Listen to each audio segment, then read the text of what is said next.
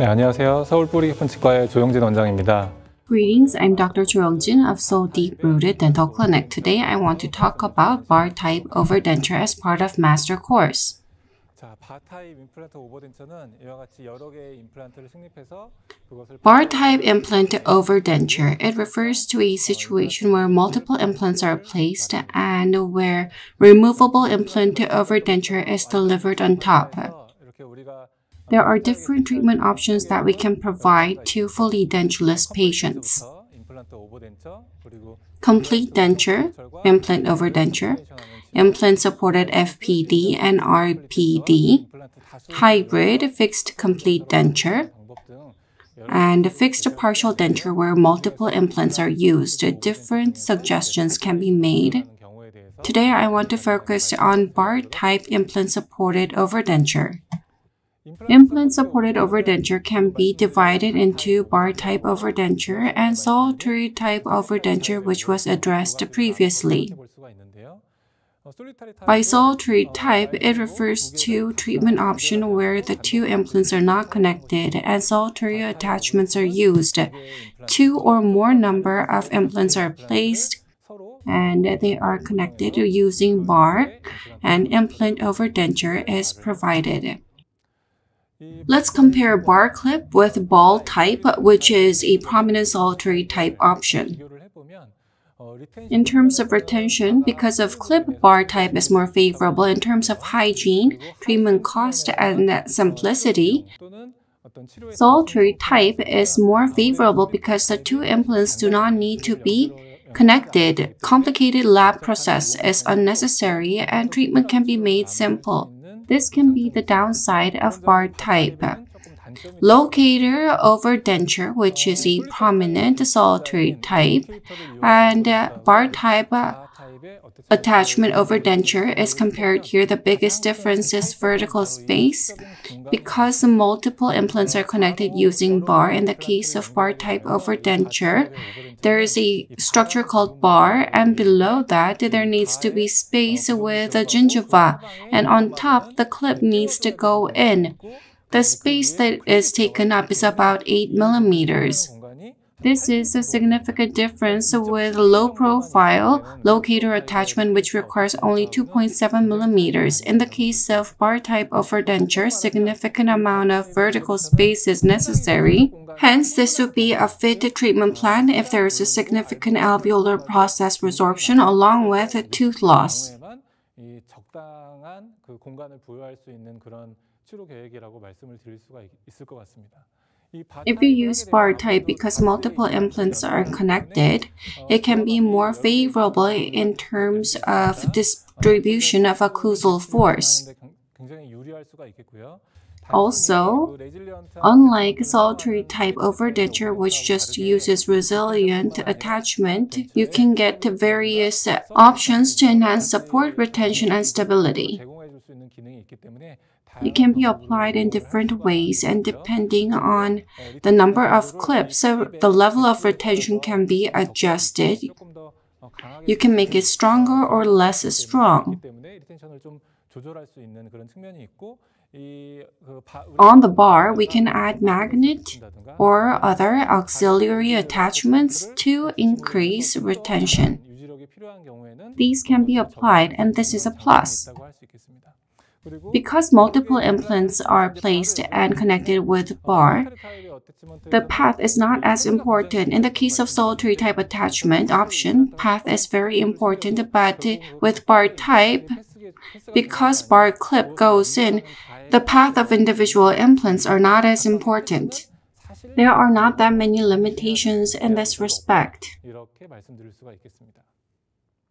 Prominently, most notably, four or two implants are placed in the lower anterior area, and these are connected with bar, or in the upper, you can place about four implants to connect with bar. This is the most common indication. If there is a very significant resorption of alveolar ridge, you can use this option, and you need to use this option in those cases to be able to prevent complications related to excessively resorbed ridge or component fracture.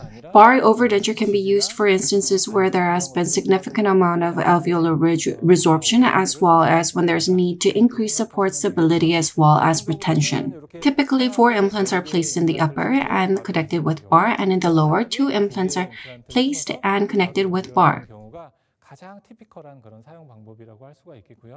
You can add uh, different auxiliary attachments to increase retention. Depending on antagonist, you can use different combinations rather than connecting all four implants. You can place more number of implants and make milled bar.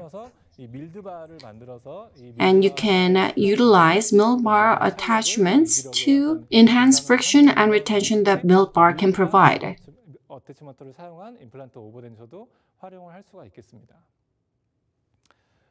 Let me show you a typical case. In the upper, complete denture has been used. In the lower, two implants have been placed and bar over denture was used. This was a case done by Dr. Kim Haku. In the upper, conventional full denture was provided, and in the lower, two implants were placed for bar over denture. If you take a look over here, alginate was used to take a preliminary impression and using model, pickup impression coping, and pickup impression was taken with individual tray. And this kind of jig is fabricated using pattern resin. In the upper and lower, border molding and impression material like silicone is used to take uh, a pickup impression as well as functional impression. Main model is made, wax rim is made, VD is determined, and once this is done, artificial teeth are aligned on the artificial alveolar ridge, and bite is verified. This is similar to the conventional removable complete denture fabrication process. After having fabricated the denture, between implants, the bar is casted and clip is added to the inner surface of bar. This is complete denture for the upper, and this is how the case was completed. In the case of implant overdenture, the clinical process is similar to solitary type overdenture and a complete denture. Although bar overdenture is not necessarily very familiar to clinicians, at times we have to use it. What considerations should we make that is unlike a solitary type overdenture? Let's take a look at that. First, you need to look at implant position. In the case of solitary type, if we are to do implant overdenture, it doesn't really matter whether the arch shape is U shape or V shape. However, if two or more implants are connected, in the case of bar overdenture, it doesn't matter if the arch shape is U-shape, but if the arch shape is V-shape and if implants have been placed not in 2 and 2, but in number 3 and 3 or 4 and 4, the bar may invade tongue space. So in the case of V-shaped arch, you need to pay more close attention to implant position.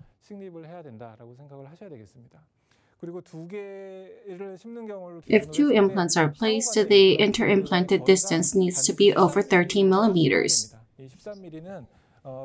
The 13 millimeters equals 5 millimeters of clip and 2 millimeters of space between clip and implant. If you are to place 4 millimeter implant, the half diameter 2 millimeter needs to exist. So in total, there needs to be 13 millimeters of inter-implant distance. This is to position the clip in between. Also, you can provide sufficient distance. If multiple implants have been placed and if the inter-implant distance is less, then you can also utilize a distal extension bar and position clip here.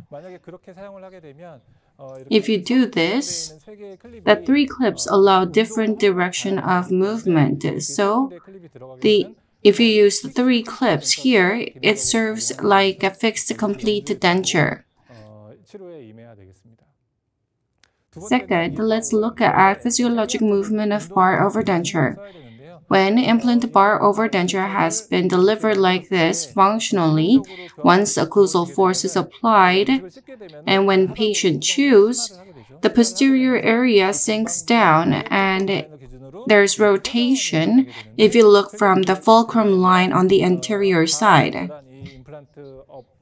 Posterior to implant attachment abutment, there's contact interference. So in the posterior area, once there's mastication, there is sinking down and rotation. Therefore, we need to provide physiological relief to prevent unnecessary stress being concentrated on the implant. We need to think of physiologic functional movement and provide physiological relief in the posterior area. In order to minimize such movement, we need to provide maximum extension. So it needs to cover up to the retromolar pad. If there's a severe ridge resorption and if such movement becomes worse, you need to do relining. Uh, if the number of implants are more than two, if four implants are placed in the anterior area to provide bar over denture, various considerations need to be made. As mentioned earlier, the direction of denture movement allowable by each clip are not the same. The clips are positioned in different positions, so the form is implant supported over denture, but it functions as fixed complete denture. Please bear in mind that a lot of load is managed on the implant side rather than the tissue side. When four implants are placed in the anterior area to provide implant over denture, the implant placement positions are very similar to when IARPD or implant supported fixed complete denture along with class 1 RPD in posterior area are delivered, so you need to think of the pros and cons of two different treatment options. Especially when there's lack of vertical space, a bar over denture is nearly impossible, or if you just do it, there can be future complications, so you need to consider IARPD.